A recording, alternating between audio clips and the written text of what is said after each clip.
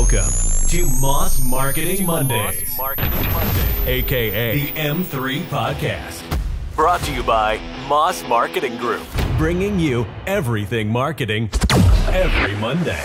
Stay tuned for marketing tips and tricks you can use today.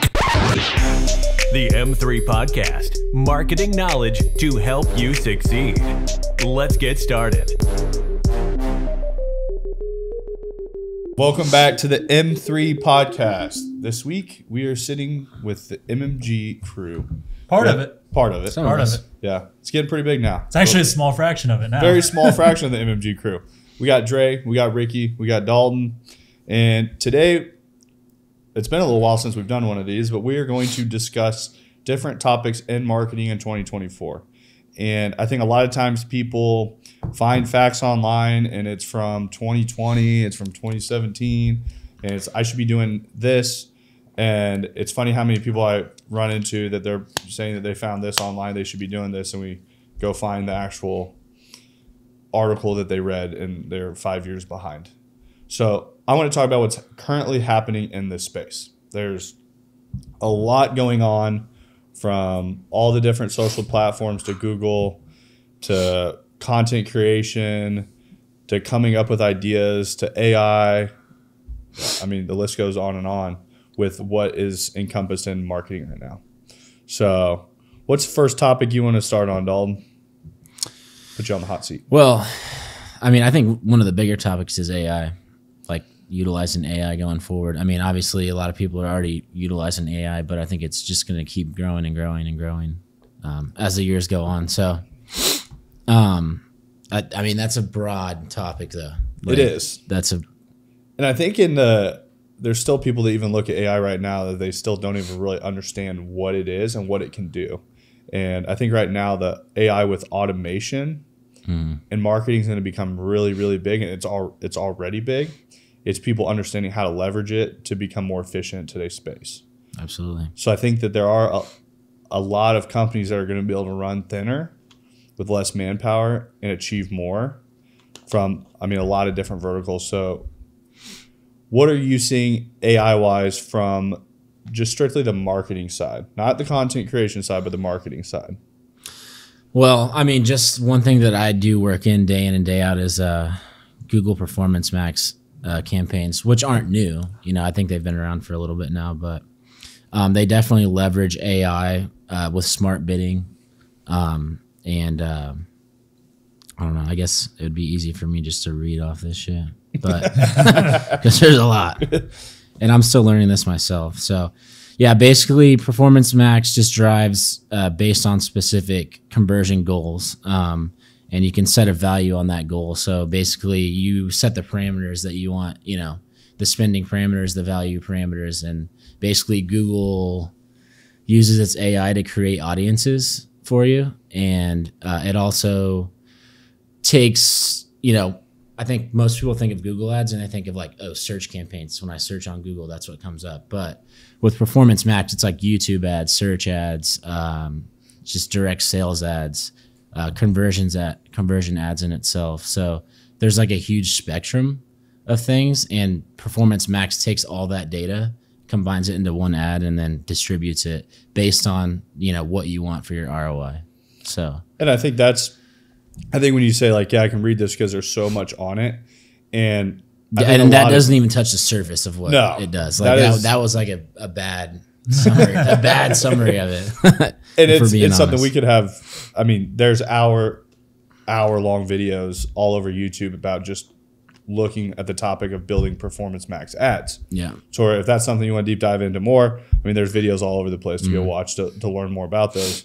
But i think that just really hits on like the actual learning curve of marketing. Yeah, and we talk about it all the time with business owners that are like well we're just going to hire one person just to run it in house because we think it's going to save us money. And they don't have an expert in google that you can run circles around me in google because you Um, operate in it yeah. And I'm Every still single learning, day. still learning. Like it's it's a learning curve for sure. just the And- the shift in the last six months has been so crazy yeah, with those ads that that is something that you have to be working with someone that is inside of those every single day that understands the changes that are com- coming that understands those the how they run and operate because I don't understand them like I right. used to because they've came so far. Mm-hmm. You know what they they don't tell you about Performance Max campaigns is if you just set up a new Google Ads account and try to start running them, it doesn't really work. Yeah. You actually need data though, and you need like your conversion ROIs. Like uh, uh, this this comes from someone from Google, you know, themselves. So they're like, yeah, you, you shouldn't just start running a Performance Max. Like it's not going to benefit you in any way. Like you need you need data, you need an audience, like, and then it builds that, you know, builds upon that. So that was one thing when I started doing this, you know, a while back. Like, I had all these Performance Max campaigns built out, and I'm like, these things suck. like, they're not doing shit.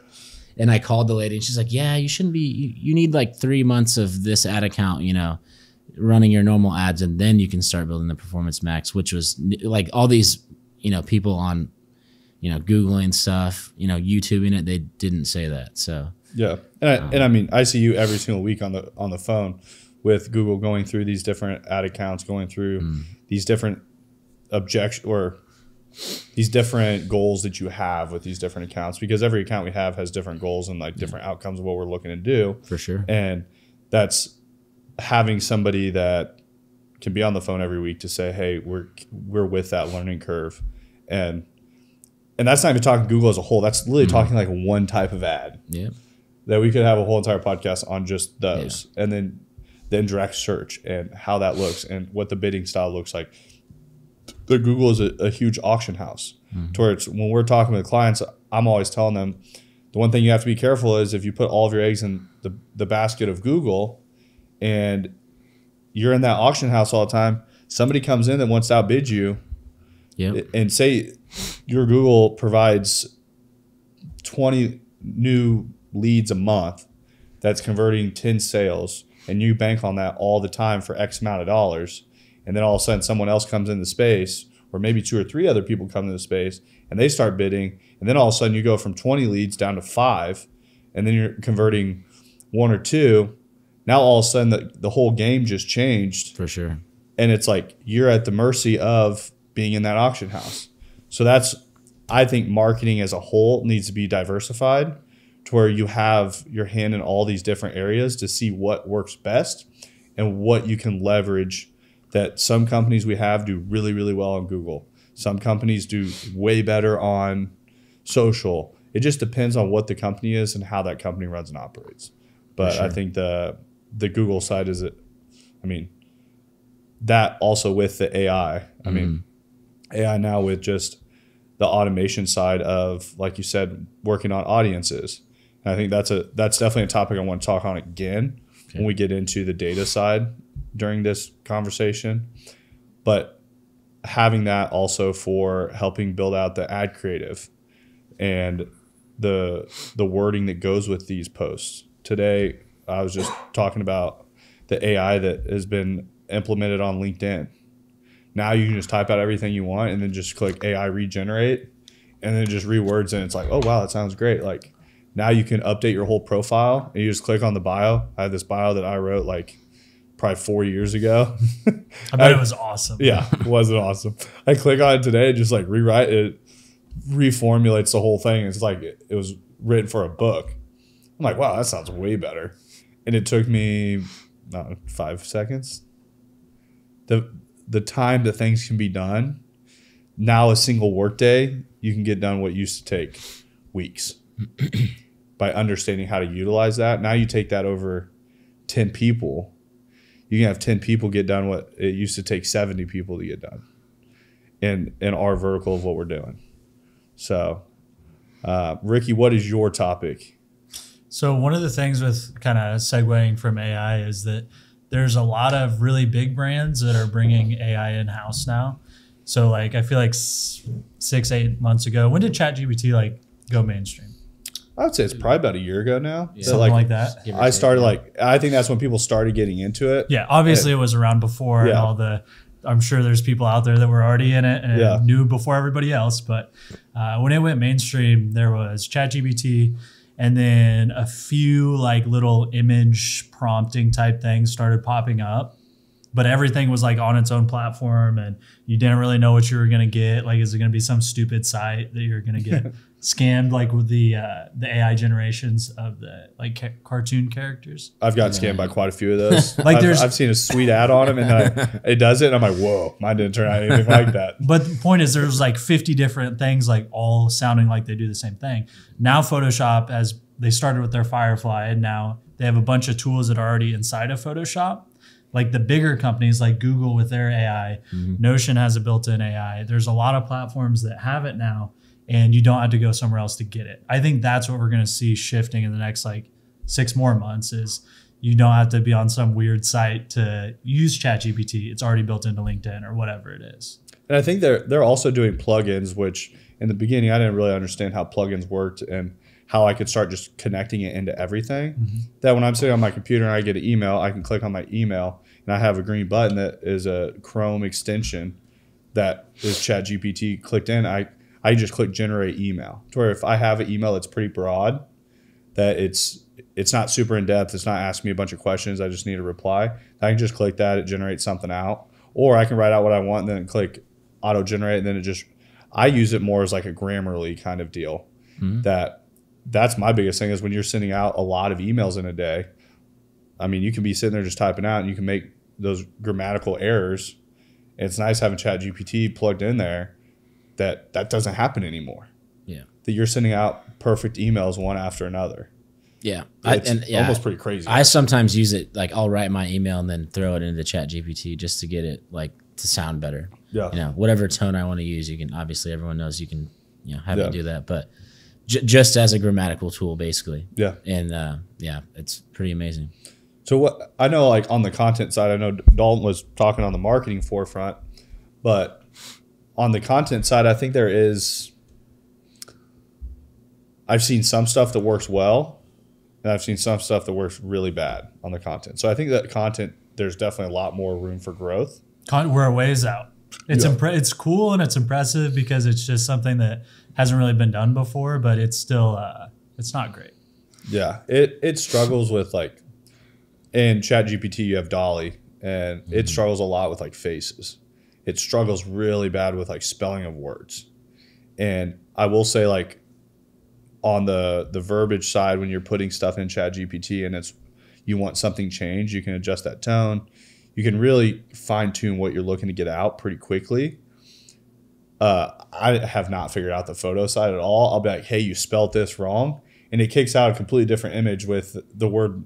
I you even put in like quotations like how you want it spelled, it's still wrong. Like, this is DALL-E in particular. Yeah. DALL-E. Yeah, I okay. I may just have. I haven't used it yet, but today I was working with it again, and it's just I feel like it for ChatGPT to work so well and a certain aspect, I feel like that's so far off. It's definitely behind, but language is just like by design more simple than a visual. Yeah. A visual uh, result. I think we're going to see that peep there's a lot of businesses out there in particular that know what they are doing marketing wise right now on social doesn't work. It's crazy. I've sat down with businesses that are paying companies that they know what they're getting doesn't work, but they like it because it's the cheapest option. Like it kind of blows my mind. Like I met with a company up north here that has been around for 100 plus years and they have not been able to break 100 followers on any of their social platforms. And they were posting the most boring shit you've ever seen. Like, but they were the cheapest option. I'm like, I, you're better off doing nothing. But I, I have a feeling a lot of those companies that are already giving a very piss poor product are just going to shift to these AI photos it might even be worse. Uh, and that's what I'm kind of like. You're seeing it some some places where they're dropping this. I'm like, you're getting one out of every I don't know, 25, 50 photos maybe that you're trying to get out comes out the way that you're wanting it. So it's still a very low mm-hmm. like percentage. But I feel like when that starts adjusting up, people are gonna think that's their new saving grace to do it the cheapest way possible. I do feel like you're going to see a lot of social platforms like already like start flooding with these AI generated photos that are just so cartoon like and and once I, I think they're cool when they're done when it comes out right. What is the uh, one that everyone's using for LinkedIn profile pictures? So there's an AI one where it's like you just plug in like five photos of yourself and it kicks out like actually good photos. Like oh, essentially like a headshot. Yeah, AI? yeah. Interesting.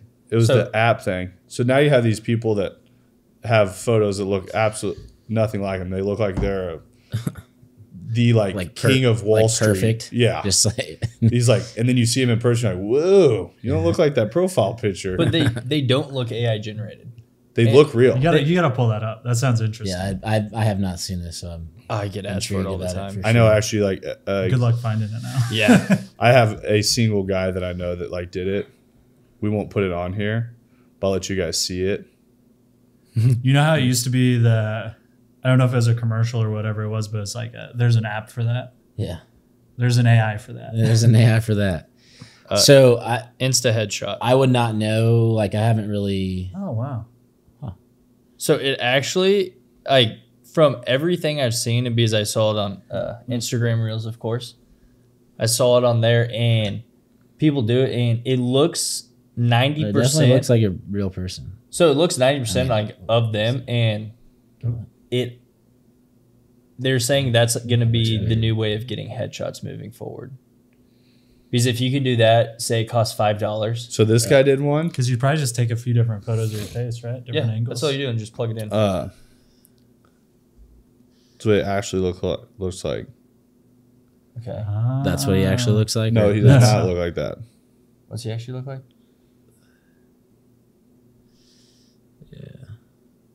I mean, the AI photos do drop like a good like 30, 40 pounds. Yeah.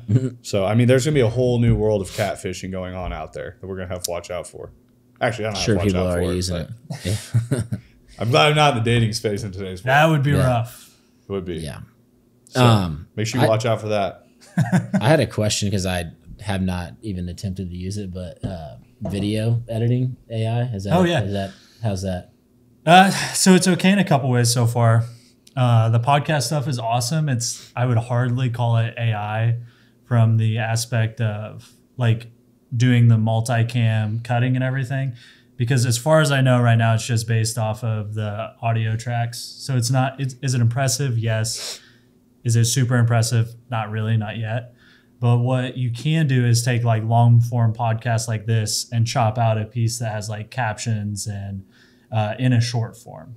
So it like pulls out what it wants to say. That's also not awesome yet, but it's a lot better than it was six months ago. So I, I was gonna say it's come a long way. It, it completely has. It's it, not in the beginning when you did that and you put in an hour long podcast, it would kick out uh, 15 reels and all 15 of them were not usable. The now, captions like spelled wrong and stuff. No, the, it was just like they didn't make sense on half mm. of them. Like it always pulls out your intro like as a reel. Like it would pull out the most random things mm-hmm. that you watch it and it would like try to piece something together that if you watch it you'd just be confused. I, I can see that because I, I just obviously there's different levels of it, but like a, a computer AI generally doesn't get like contextually like what we mean. But, so it doesn't like, yet, but it's a I it's a super intelligence. Yeah, some of them do. No, I, am saying there's some that are powerful enough to do that, but I don't think like six months ago you didn't get a not, reel. Not very many. Now you're getting one or two. Yeah. Towards I feel like the the speed of which it learns. Well, it just has to have more feedback. Yeah. It's a it's a super learning machine. Right. It's gonna get better. You know what this makes me think of? The movie Eagle Eye. I thought I haven't seen that. Terminator. I was thinking iRobot. I was thinking iRobot too. Uh, Eagle Eye. Well, it's probably yeah. Anyways, it's just like this machine that like learns people's habits and can like basically learn how to do anything it wants to and well, I would say like just think about how good the text based to pull out a reel or something like that. Essentially, it's just pulling out a key point and making a summary of it yeah. that it thinks somebody's going to want to watch. And like you could have it summarize an entire book almost instantly now, or summarize an email and pull out the key points. It's the same thing with video. It's just transcribing it first. Yeah, I think that I've had a lot of people come my way, like other business owners, and like, do you fear AI like taking your guys' job? I was like, absolutely not. Mm-hmm. Like, I feel like in the marketing space, at a high level, there's marketing minds out there of how marketing truly works to individuals, that there is a strategy and there is a ability to do it well. Now, there are marketing agencies out there that will be shut down 100%. Like those cheesy graphic companies that charge people $500 a month like those are going to go by the wayside really quickly. The AI is just going to be able to auto, auto generate what they're doing. Well, it's almost and like it's, the people that their sole job was just blog posts for websites. Like yeah. that, that's what you got paid to do, however much it was. AI came out, that job's essentially gone because now it knows the exact keywords to plug into your website to make it the most efficient as possible. And so those jobs are just gone overnight. And it, it can scrub sites. Like if I say I want to write a blog post on whatever it is, and that's saying that if SEO was working like it used to, also, I mean, the, the world of writing blog posts all the time is it still can get done, but it's such a small piece on the big scale because now you can sit there and say, hey, here's my 10 competitors, here's all their websites. I need blog posts to make sure I outrank them on all these keywords. And so write out all the blog posts you need for the next six months and so be able to do it in five minutes. To where it's like, we've had clients and like, well, would you be able to, we spend two grand a month over here writing blog posts. I'm like, somebody's getting you. Because, and then mm-hmm. there's also going to be the people out there like, well, websites read if it's written by AI. Yeah, there's also AIs you can put it into to make it to where the internet can't see that it was written by AI. To where it's like understanding how to do the whole entire thing is very crucial to do it and do it correctly. But it's like I do think that's a that's a space that there was there were people that had jobs doing that at one point and 12 months ago their probably jobs are getting a little scarce. Well, I think it's really just about like there's still people doing that, but there's less people doing more of the work and they're able to do way more of it because of the AI. So whoever adapts the quickest, which is what we'll do, is going to get leverage from it. Whereas, yeah, if you try to ignore it, yeah, it's not going to be good. Which I think there are a lot of people trying to ignore it right now. And it's same thing with like the content space where people aren't adapting to the video formats. Like if you're posting videos and every single video you post says turn your phone sideways, like you're missing the mark. Like totally. The the internet's telling you what it wants. Like and that's what marketing is is understanding how to capture people's attention and understanding the feedback. De- depending on what your goal is. Like if there's creators out there that are just wanting to share what they do and it's turn your phone yeah. sideways it's like ah whatever yeah but if you're trying to do that like on a business forefront and your goal is to make more sales then it's a no-no yeah. so in 2023 how many marketers surveyed do you think uh, used AI for content creation? In 2023? 2023. For content creation? It's it, this this says AI for content creation such as writing blog posts, articles, websites, oh. social media copy, so basically just use it in general. So including written form. Including written form. I'm going to say 90%. 74%. So I was surprised too. Ricky, what's your uh, what's your guess? Are we on the wrong side of the spectrum? Uh, yeah. Oh shit! Wrong side. Slower. Thirty-five. Forty-eight percent. Mm, wow. So, so I feel like that's companies. I feel like that's low, but it follows it up with. Didn't ChatGPT come out in like twenty-two? That's what we like. We yeah, late twenty-two. I think. I'm not sure, like but so fast forwarding to 2024. 88% of people they surveyed marketers are planning on leveraging it this year. So that's the the jump. That, you know, the funny thing is how many people say they're going to do something. like, well, that's another it's, story. It's really easy to say, "Hey, we interviewed you. Yeah, we don't use it right now, but we're going to. We're going yeah. to." They're going to decide that they think they should use it once they close. Like when you are waiting and you are this far behind right now, which hundred percent the reason I created Moss Marketing Group was marketing agencies in our area are so far behind on what they are doing that it's like baffling almost. And the funny thing is, we sit here and we have a podcast every week. We talk about these things. We tell people how to do it. You could become 10 times the marketer listening to this one episode of knowing what's going on in the space. And you have people out there that are, you know, I'm going to do it. I'm I'm going to start in the gym here next month. next month. Well, they're, they're already a year years. behind. It's going to take them how long to figure out what websites work, what ones don't, which luckily we have a team of mm-hmm. everyone going through that. What? I don't I don't know if the early adoption is as huge of a like if the intelligence is getting smarter and it's getting faster, you're going to be able to learn it. You're going to like getting into AI now, we have an advantage over the next yeah. few years. Over the long term though, Oh yeah, like, definitely gonna, over the next. I don't think the learning insane. curve in AI is like anything that astronomical. I think there's definitely ways to like a lot of things that we implement that we've became more efficient with using it because you could spend a lot of time sitting there entering things into chat gpt to try to get what you you want your output. But at the end of the day ai is only as good as the input that you're giving it. It's a tool. It, it is a tool. And there's yeah. there's people that you could give a table saw to and they have no earthly idea how to use it. Same thing with chat gpt you could give it to anyone. Anyone has access to go use it. That doesn't mean that they're going to know how to use it.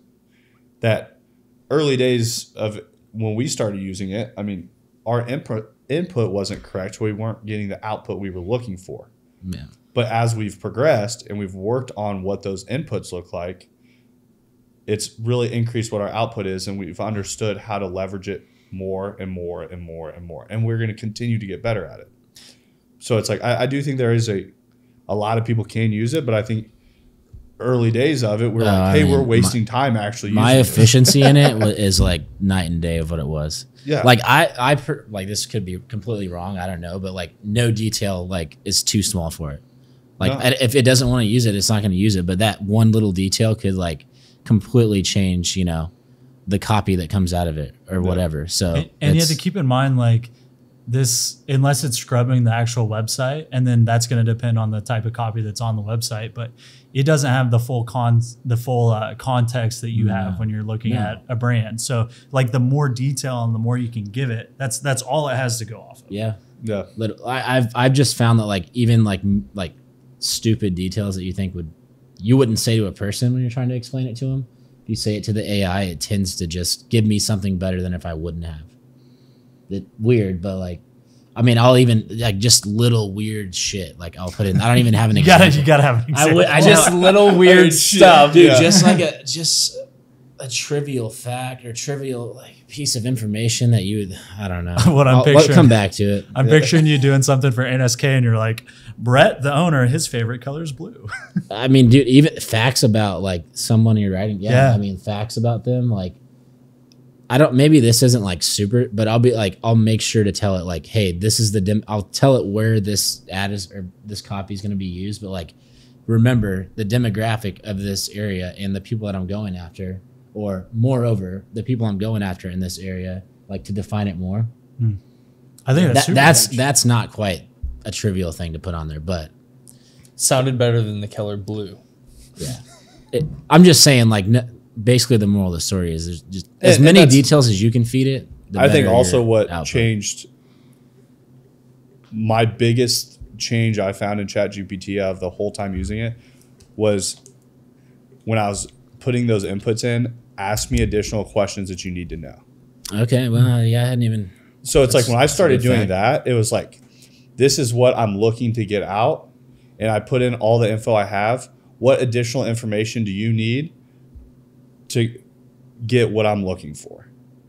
And then it'll start asking you questions. I'm like, oh, I didn't think about that. That's a good point. Yeah. Like, I assumed it would put that in there. Like, it, and it'll start asking. It's like, a great suggestion. Where's the city that this is at? Where? What is the? How long have they been in business? And it starts asking all these questions.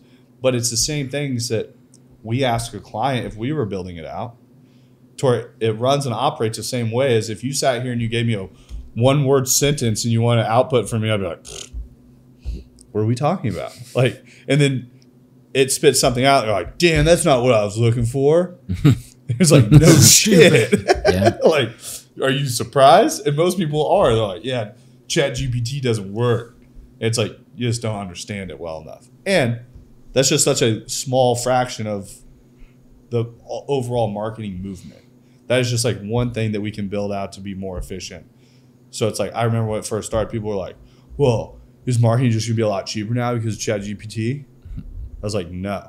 I was like, if anything, it's getting more expensive because there's few people that know how to use it correctly. But also, coming back to the content side, content is not somebody that AI is not going to be able to replace people on cameras.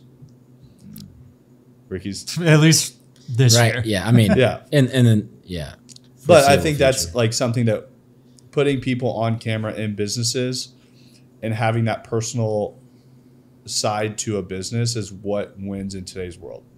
And I think in business today, people have gotten so into selling their product or their service down people's throats and they don't get the return so they jump ship on all marketing.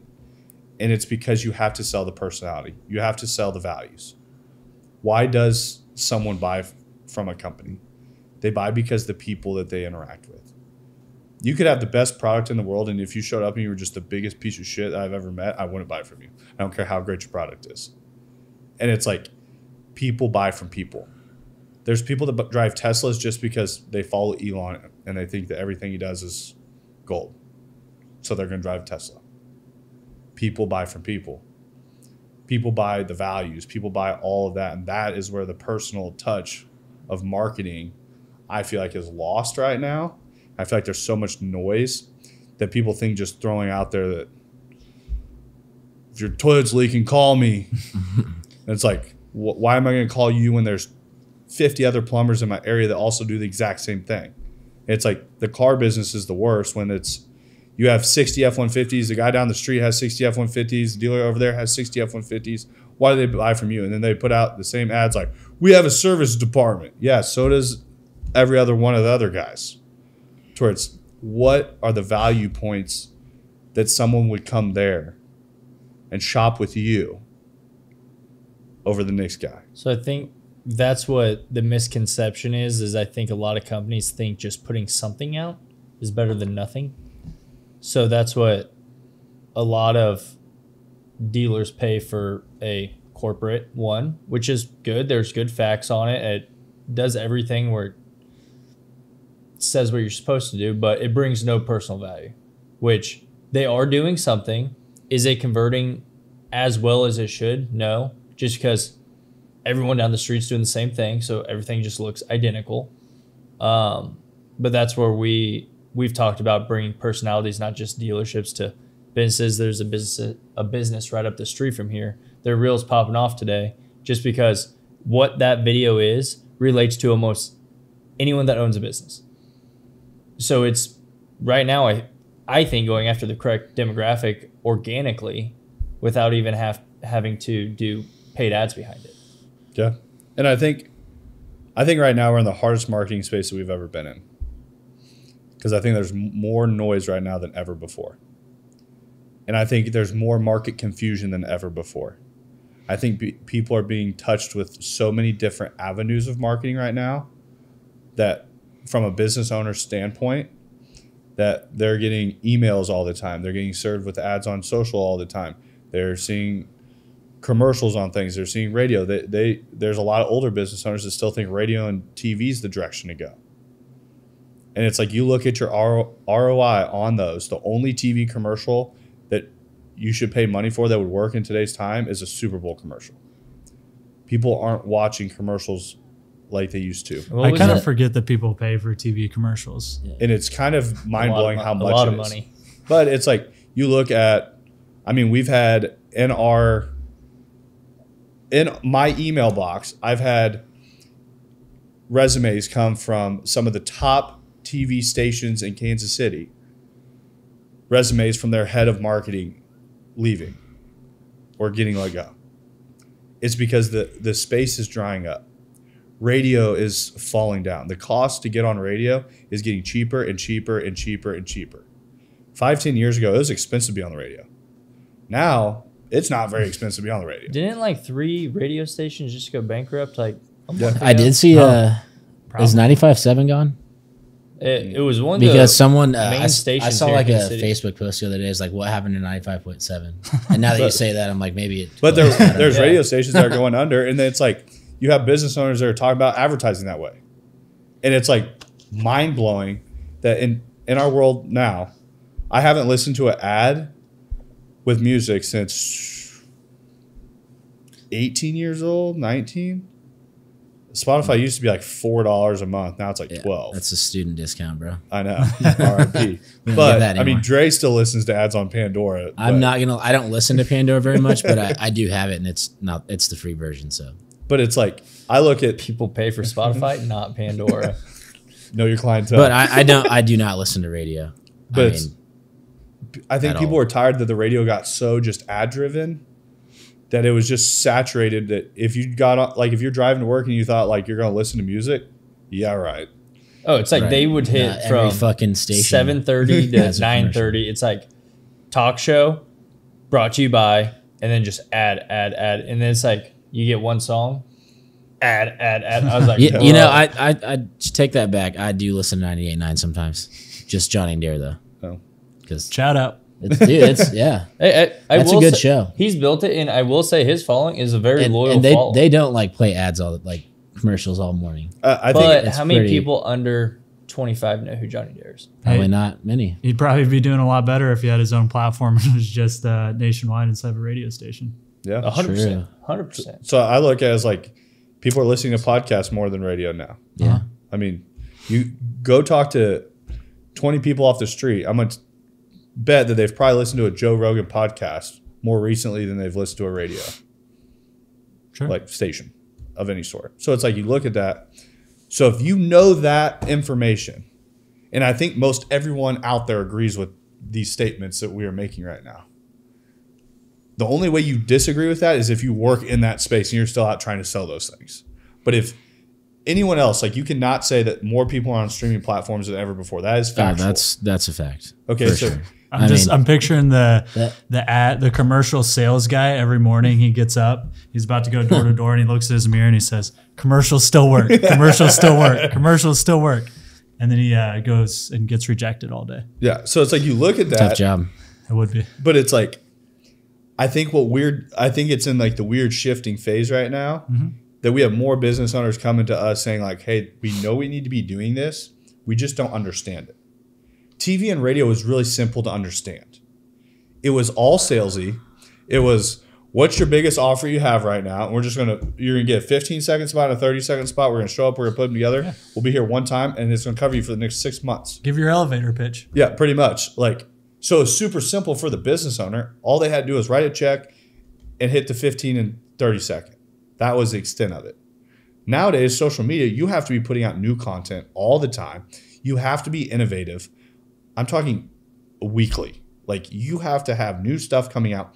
You have to actually the difference between TV and radio to what social media is is actually willingly getting someone's time. Mm-hmm.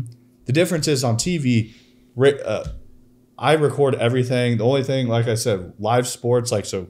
But most time on live sports, commercials come on. You go get a drink, get food, go to the bathroom, whatever you are not willingly getting someone's time. And I, th- I think it might be easier to draw this analogy. If, like, look compared to 20 years ago, like a commercial came on and you just watched it. What else were you going to do? You didn't have yeah. a choice. Or maybe you talked to somebody that was in the room with you. It's not yeah. like you had a supercomputer in your pocket to pull out. Yeah. My, my grandparents always just mute the TV when they come on. but you look at that as like a TV commercial and a radio spot is taking someone's time. It's not like you're driving down the road and you're listening to the radio, you listen to Johnny Dare, ad comes on, you're like, oh, turn it up. no, you turn it off and you probably got on your phone, you watch, you, are doing something, you make a phone call, you're like, well, commercial's on. And so it's the same thing on now. If you're on social media, somebody has the ability to scroll right past what you put out. You're, you're not taking their attention. So now you have to be skilled enough to understand marketing and understand content to how do I willingly get that person's attention? Even though it's a sponsored ad, it's still willingly getting their attention to watch a video. To where that's where when we put videos out, we watch, we track that watch time. Make them entertaining or educational. Those are the two lines that you win in marketing. If something pops up and they're immediately trying to sell me really quick, I'm like, all right, on to the next thing. I just I don't have to watch it. And that's on that's on sponsored posts because yeah. if it's organic, nobody's gonna hit follow to begin with, so you're gonna be talking to the wall. Yep. So now you have no following, and I, there's people out there that have no following that pay companies to post every day to their no following and run no social ads. To where if you are a company and you're spending thousand dollars a month for someone to post some shitty ass graphics, save your thousand dollars. You have no following that for that to even reach anyways. And organic as a business most of the time, if you're not getting a high engagement rate, you're probably only reaching less than 5%. And it's probably the people in your family. You don't really need to hit them. Take that $1,000, hit the casino, and just go throw it on red or black, whichever you're feeling that day. You're going to have a better chance at making money doing that than you are putting your money at some company that's $1,000 a month that's posting some shitty graphics. Like, that's facts. Because you go talk to those companies that are paying that. When was the last time you got a deal off of a social platform? Like, uh, I don't think we've ever got a deal off a social platform. Do people get deals off social? It, that is like the the crazy thing that there's people that have been paying for something that never got a single deal. They've never got something that even comes close to working, and they're like, then they'll cancel, and then they don't believe in social media anymore. Like that's not the way to market. Why not? So I do think those people that have paid for radio, like kind of how Dalton said he follows Johnny Dare. I picture that as the modern day influencers. So sitting there, those people, it's like they have generated a loyal following that when they actually make posts, depending on what it's about, those people actually do go out and buy it. But yeah. they have the option of getting to pick and choose what products they want to take on and not. And I would, I would probably say social media influencers probably make more than a radio show host. I'm gonna Likely. assume. I don't know for sure, but I'm gonna assume. I would say so. Because most of social media influencers, like once they pass that 100, 200,000 people following them, you can put stuff out and like you said on that organic stuff, you're hitting your following and they're actually excited to see what you're putting out and want want to see. But what I will say which is happening right now and I think it's going to con- continue to happen, you know, there's a lot of big brands and I mean companies that do well in the digital space influencer marketing is tearing down. I think they're getting into this very micro influencer right now that these big influencers have gotten so money driven that the trust and the, the loyalty to them is gone. That if I follow someone and Dalton has 10,000 followers and they're here in Kansas City and Dalton posts a product and he's like, hey, this is shit. They send this to me. I don't like it. This is my honest opinion of it. That that is why someone trusts what Dalton has to say. If you're somebody that you just post all these products and they're great, and then I order a product and it's a shitty product, but it's just because you're getting paid, then that trust starts failing really quickly. I will never buy another product that you that you endorse. Towards I think that's happening in influencer marketing. I feel like these influencers at a small space like start getting a little bit of traction. They get a couple deals here and there. They are honest with them but then all of a sudden the, the money gets big enough that's like, hey, I'm gonna pay you, I'm gonna pay you fifty grand to do a video on this, and you have to say it's great or you're not getting paid. So, so then I'll send it to us for approval first. Yeah, it goes yeah. through like an approval cycle right. with this corporate company. Now all of a sudden it's like I don't trust that person. They they're getting paid to say that. They've turned into a, a glorified politician. Did you watch Theo Von on with Joe Rogan? So they were on, and a company Theo Von posted his podcast, and company reached out and said you need to take that down because we don't like the individual that's on it. He's like, uh, no. He's like, you can just take your money back. And then Rogan's like, well, who is the company? He's like, uh, said the company, and it was a bike company, but he had them in the UFC gym. He's like, do we have those type of bikes out there? And they're like, yeah. He's like, those will be moved out by the end of the day today. He's like, if they're going to come after you for something like that, he's like, it's not a company I need to be a part of. So just for something that minuscule and basically how they wanted full control over, uh, yeah, we our values don't align with the person that's on your podcast, even though we're sponsoring you, not them. What was the brand? Uh, Peloton. Oh, okay. Sounds like a Pel- Peloton's been making a lot of pretty crappy moves. Oh, I was trying to think of who Theo Von would be affiliated with at uh, I'm actually surprised equipment. about that. It, it was. Yeah. I was kind of. I was surprised that I was yeah. like, okay. That's so. It seemed like a weird partnership to begin with. I think they went into like bankruptcy stage, and then now they've been trying to do like subscription model instead of like selling the bikes. So now they're going on like you get a subscription with them. I think they're chasing like Whoop's kind of business model where Whoop yeah. you you buy the subscription and you get the Whoop for free. What a deal! No, but it makes it to where like at the end of it, you still paying you're still paying that subscription, so they get that long term. You're making money. more money, and it's a lower lower yeah. barrier to entry. So they're not trying to capture that just like product sale every time. I would assume, based off zero research, that Peloton had so much growth during the lockdowns and COVID and stuff that it probably like hyperinflated their business uh, and there weren't actually that many customers. Yeah, and then the next year they're like, you're going to increase by twenty percent. I'm like, uh, the world opened back up. Everybody was That's like, not happening. Actually, I can't work out at home. They very also well." went into a big lawsuit with the treadmills. Some kid got like pulled underneath a treadmill, which I feel like that I would feel like that with could happen with any Yeah. treadmill. treadmill. But their treadmills are so heavy, like that. There's like a big lawsuit on their treadmills. I don't know the outcome of that, but I do remember that being a thing. So I don't know if that had anything to do with it. any publicity is good publicity. I don't think that as was. long as you just stay in the limelight. I don't think that was good for him. But uh, the next thing I do want to talk on is the we we've had a lot of additional things come to Moss Marketing Group recently. I want to talk about the data side and how important that's becoming with privacy policies tightening up in 24. I mean, a lot of things are changing on that forefront, and I don't think people really have their eye on that. And I don't think people are understanding how important the correct data is going to be in marketplace coming up. So, um, with data now, I mean, there's multi-billion dollar companies out there that specialize in selling data. And it's making sure that you have the right data. If you are geofencing places, you you are getting the correct data.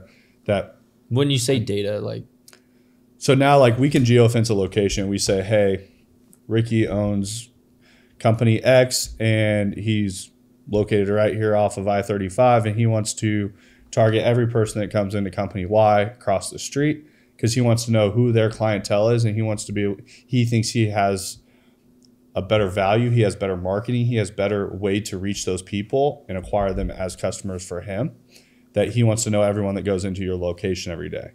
So we can geofence a location and ba- based off of phone IP addresses, we can get your first, your last name, your phone number, your email address, your home address. It's pretty scary what you can actually do now with where these run around everywhere. When you sign that, uh, your terms of Your- agreement your- that we've all read. yeah, that's 5,000 pages long now. Those are things that they can track your phones, they can see where your phones are going. And there's also a ping percentage that happens that a lot of people don't know what they're buying into when they're geofencing something. That you can find really cheap geofencing companies out there, but their ping rate is at 15%. when you say ping rate, So that's saying that out of every everyone that comes in here, so say if we just have a ping rate of 25% and four of us walked into company Y, you're only going to catch one of them. So you're catching one of four people that actually come through there. So say that company has 100 people that come through in a day and you get 25 pieces of data. Or you can pay up and you can get a company that pings at 75%. So now we're saying that you're not going to find somebody that pings at 100%. So now all four of us go in the same company Y. Now you got three out of the four people that come in. Now you're, you're dealing with better data groups and you're going to have more people to go after. and that's just me walking into a location. They get all that data. Yep. So you can sit there and you can hit that on the geofencing side. Then there's also just actual data acquisition side that we've partnered with different third party companies where we can say, hey, in the automotive space, we know that Ricky owns a Ford F 150. We know Dalton owns a Ford F 150. We know Ricky's is a Platinum. We know Dalton's is a Raptor. We have their first and last names. We have home addresses. We have email addresses. We have phone numbers. We know where credit is within 50 points. We know that they're coming into equity in the next six months. So we know that we can start warming them up as someone that we want to sell to. So now, how do you warm that person up into your business? And that's understanding having that data to say, hey, we're going to start warming them up with just overall brand values that we have. We're not going to try to sell them yet. That's what too many people try to go straight for the sell at the bottom of the funnel, and that's why they fail with marketing. Instead of trying to sell them right now, we're just going to warm them up. We're just going to start saying, hey, these are different values that our company has. So they're going to be seeing that and they're going to be like, oh, this looks like a place I'd want to buy a vehicle from. They, I like what they're doing here. This makes a lot of sense. So once you start warming those people up, now we're know, we know that they're in an equity position. And most time when somebody find, gets into an equity position, that's most of the time when they're going to look at trading in their vehicle. So we know what vehicle that they own we know their equity position that they're in. Now we can start email drip campaigns that are coming in that state that we're paying up additional percentage of money for these certain vehicles. If you own one of these five vehicles, we'll give you extra X on trade. So then it makes marketing way more detailed to the, and personalized to that person. Yeah, you can actually target people. Yeah. And that's what we were talking earlier on having the correct data and the correct audiences because we can also take those audiences and we can plug them into social platforms.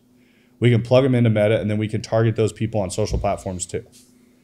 That we can say, hey, if you have a service offering for people that own F 150s in your zip code, we can pull an audience we can know everyone in your zip code and the surrounding three zip codes that own F 150s. And we can target them with a service incentive on Facebook and Instagram that if you own F 150, you get additional $20 off your next oil change.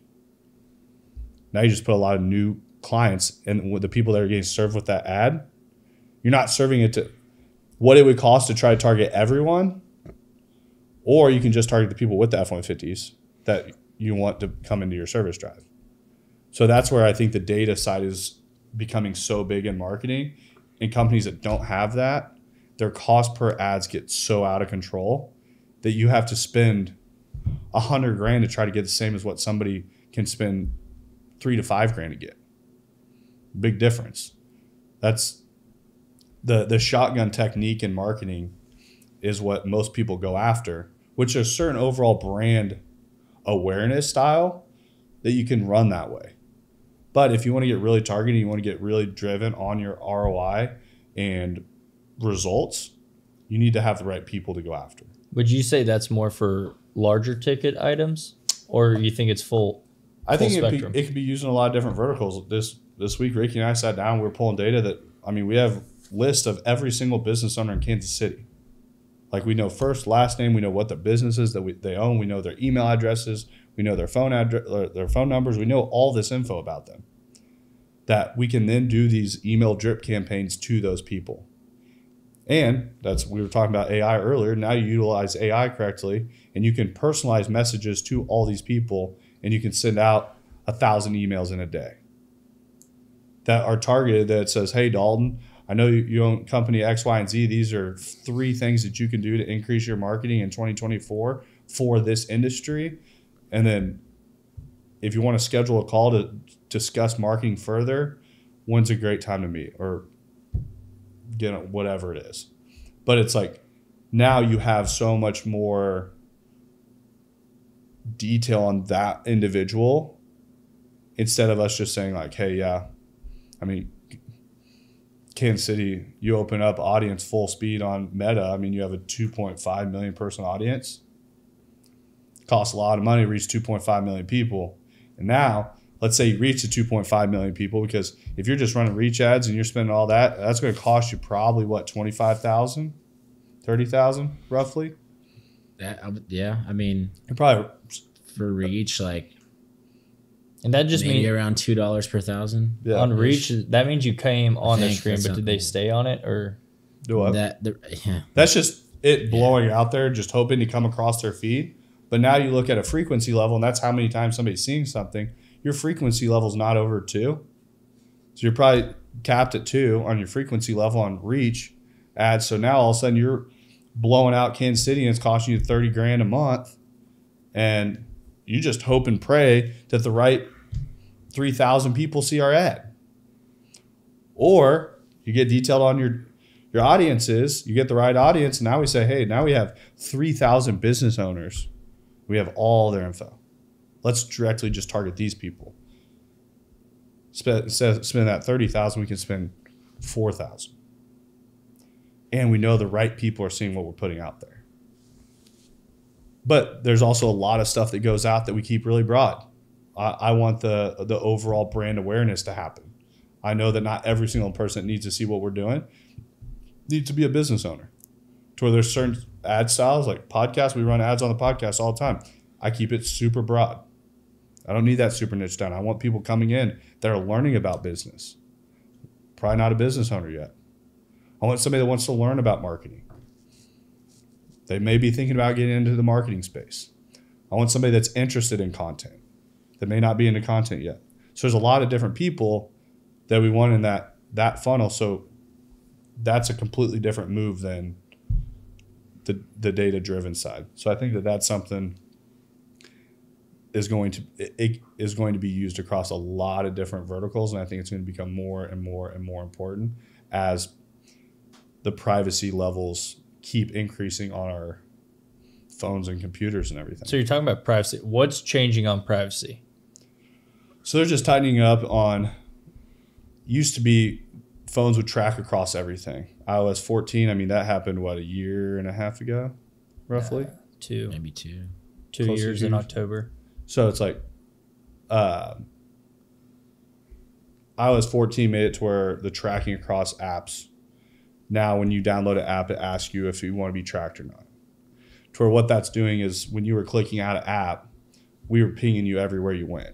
So you would put pixels on the back ends of everything, and then it would make it to when you clicked out, we pretty much had you in an audience, and you say, "Hey, you want to retarget anyone that's clicked through the website?" That's how you would click through to a website. Then you would just get pounded with stuff all the time. Now we can go after video viewers and keep them on platform. That's why video became so dominant so quickly. Was the people that were doing it correctly? You notice now you watch a video and you, if you watch 15 seconds of it, now we have you in the audience, and now we can retarget video viewers to where it makes it to where that retargeting has completely shifted on the way that you do it. But I mean, they're going to get more and more. I mean, Google's working on tightening up their spam folders. That emails are going to need to be more personalized to break through those spam folders. To where you, you're going to have to make sure that you have the right audiences and the correct.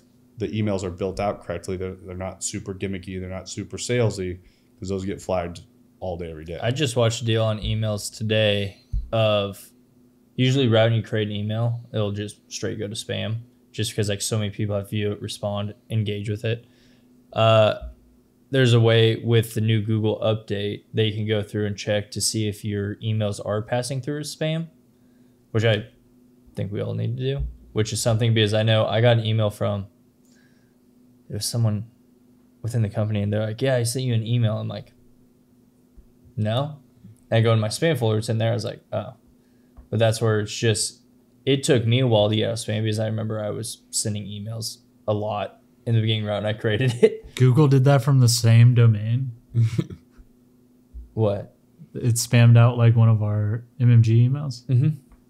Google kind of sucks sometimes. It, it does. but it's if wild. say You'd like think you'd have a filter for that one. Say I'm sending a bunch of emails, Dane sent a bunch, and then it's like we create another email that's even it's under our account. They'll still send it spam because there's accounts that do go out and make thousands of emails and then they just burst them out, and that's typically what goes into your. But the, that's why when you're doing email campaigns, that you're gonna have to get more and more disciplined on the way that you do them. That they they're reading that off of open rates so if you're sending out Groves of email and no one's opening them, they're reading that really quickly, saying like, "Hey, this is probably spam account. Nobody opens what they send." But if people are opening your emails consistently, they're gonna say, "Okay, this probably isn't a spam account." So you have to get better with your hooks. You those hooks have to be something that's personalized to that person, because every single time I get an email that has my name in it, in that tagline, most time I open it but it's normally some sort of quick hook that's like, okay, how, they know my name, like, so you click on it, but it's now think about if you get an email with your name in it and that tagline, you're probably going to open it. So I do check my spam folder and I'll go in and there's some stuff in there that I think is useful and I always back out of that. I never click any of the links. Heads up, if you do click links in emails, don't.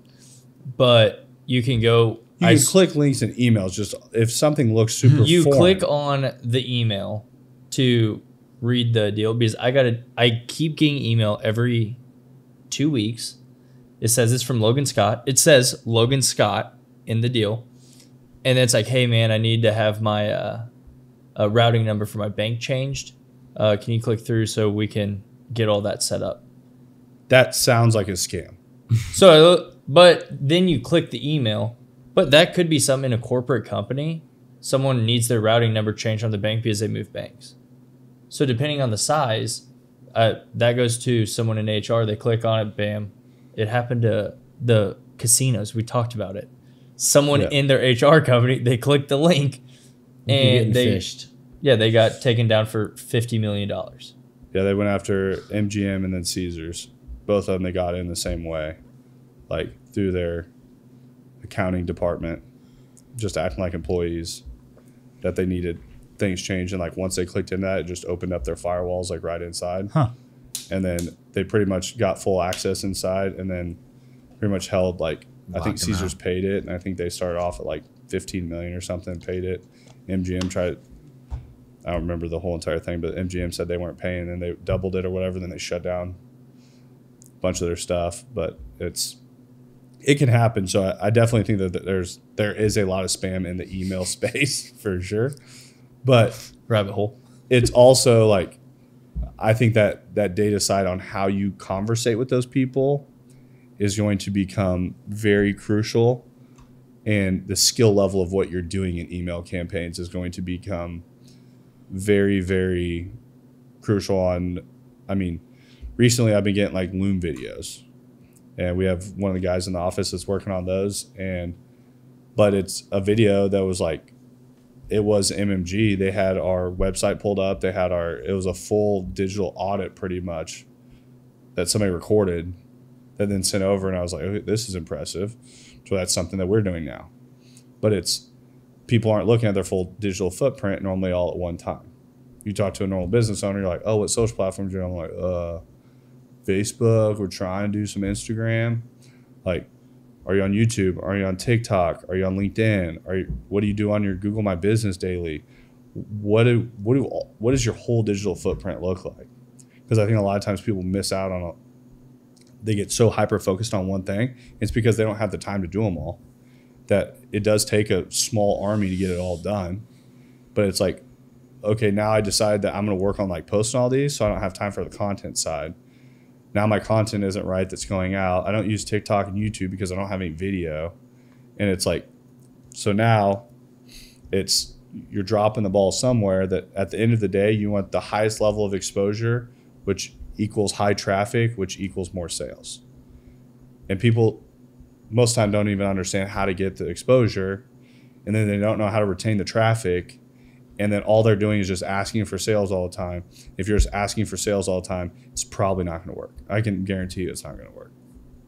That if you follow us on social, you see stuff from the podcast all the time, you see taco reviews, you see Fit Check Fridays, you see the the culture of what we do, but it's because people buy from people that generates leads all the time.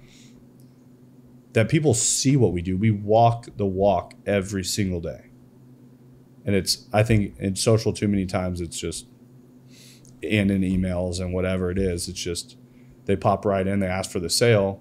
Instead of asking for the sale next time, give value to someone. How do you give value to someone? That if you have knowledge on plumbing, I prefer I would follow you if you just gave me value on things that I could fix around the house myself. And maybe I can fix some of these little things, but the day that my toilet is busted out and it is leaking everywhere, that's way beyond my means of fixing it. First person I think of is Dalton.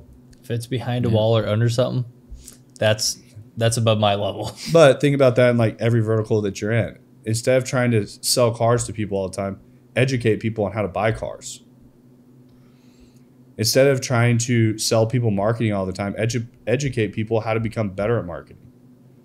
That's why we've started this. We talk with business owners. We talk with people all the time. We I, we will tell people how to do it. That doesn't mean they will do it. We work with growing businesses because this is something that they figure out how much time it really takes to do it all. And like, okay, yeah, that's over my head, and I want it done correctly.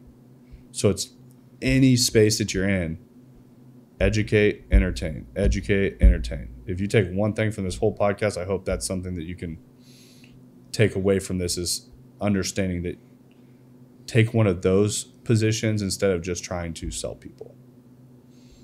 Um, is there any other topics that we want to hit? I really feel like the AI one was a pretty good. I, I feel like yeah, the two we covered. There's a lot to talk about. Yeah, there's AI. a lot. If we can have a five ten hour podcast sitting here just going over the topics that we go over every week. Remember in the very early days how hard it was to have an hour long podcast? Yeah, it used to feel like an eternity. I know we were like trying, like grasping for something, and now it's like, dude, this is all we talk about all the time. Forty five more minutes. What are we going to talk about? Yeah. Damn, that was fifteen minutes. We had like somebody asked a really good question. we covered all ten of our uh, ideas. Now I think the only the only statistics statistic I saw that I was kind of surprised on was Instagram users. 30% of Instagram users only look at Reels. Not even go through the main feed. They just straight go to Reels and that's all they use it for. And I think that's I mean I think that is because of TikTok. What yep. TikTok has done is that does have the largest engagement of any platform than any other social. So like, there's times I get on Instagram and I'll be scrolling through reels. And I don't even under I don't even know if I'm on TikTok or Instagram. now they're like, getting pretty good, looking pretty similar now. Yeah, I mean they knocked it off really well, but it's once again I think that's what's driving the attention span so low, and it's the podcast. People are like, "Why do you post reels all the time of the podcast?" That's what drives people into listening to the podcast. The long version is somebody gets a nugget out of a 60 second clip or a 30 second clip and they go, okay, I want to go listen to the rest of it. But it's, you're not going to capture somebody right out. That's like you going to see a movie and never seeing a trailer to it. They just have a picture of it up front. You're like, yeah, I want to see that. I did go right. to a movie last week and I didn't see the trailer until and the tickets was, were already bought. It was a so. bad choice. bad choice. I slept. And that's at a that's at a movie theater where you have ten options, not a hop on Spotify and you have a hundred thousand podcasts. Yeah, true, true. That sometimes, hey, sometimes I got Netflix find something I never watched trailers. Yeah, that's true. I mean, we've talked. I, I waste forty five minutes and then I figure out I don't like it. You're like, ah, this actually sucks. Yeah, we've talked to people that have had some monster names on their podcasts, and they've just never marketed their podcasts or put out mm. the short forms. That if they just probably did that alone, they could have huge podcasts. But it's just people have to see see what it's going to entitle, like what it's going to come with. What benefit do they get from listening to this? That I feel that there's a lot of business owners out there, there's a lot of people in the marketing space that can get a lot of benefit from the last hour that we've spoke. I'm trying to think of whether or not I've listened to any podcast that I came across via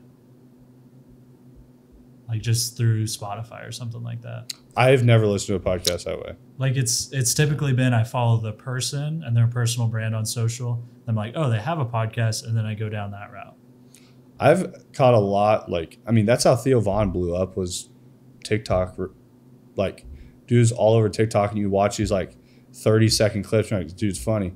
And then all of a sudden, like one night, we're sitting in the living room with YouTube pulled up, watching him and Shane Gillis on the TV, and it's like girls are super pumped.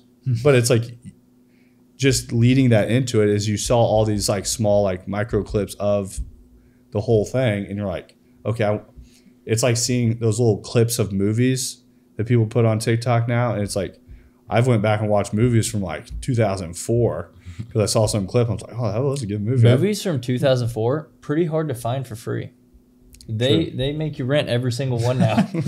but I just think that there's a lot that comes from that short form content that leads people people into the the long form content that if when we're capturing an hour of someone's time it's a, a lot of time to someone. And it's you have to have those value points. You have to have the reels cut all the time. You have to do those things to get someone in. And it's I think that's where a lot of people miss it. Same thing with a business. I mean, a podcast is like a business. You have to put eyeballs on it. People have to know what you do to be able to use you. If you have a business and no one knows about you, how are they supposed to use you? And it's it drives me crazy when we talk to business owners and they talk about how they want to grow a business, how they want to do all these things, but they actively are doing nothing to do that. That they're just waiting for something to fall out of the sky that's just going to change everything. If you are a business owner, look at the last 12 months.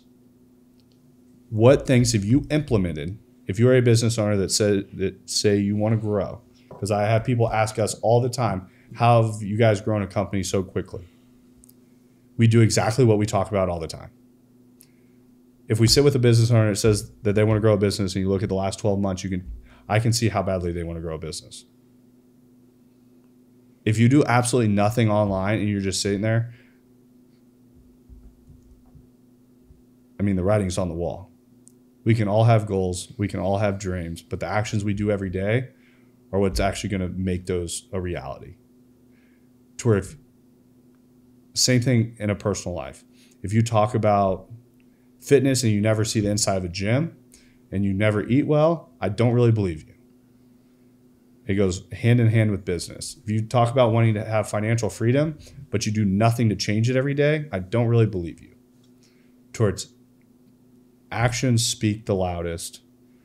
Your social platforms, your digital presence online is what people find first in today's world. So, business owners, take a step back, go look at your full digital footprint. What does what does the average person that doesn't know who you are, doesn't know your business, if they find you online, what do they think of your business? If you're not a business owner, great place to start is look 12 months ahead, plan accordingly. Yeah. So that's what I got. I think we touched on a lot of great things. I think there's a lot of stuff happening in 2024 marketing wise. I think, I mean, we're chasing a moving target 100% of the time. So, final thoughts? I think uh, I think you summed it up pretty good there. Final thoughts? AI is a tool. The better you are at using it, the better results you'll get. Hell yeah. Final thoughts?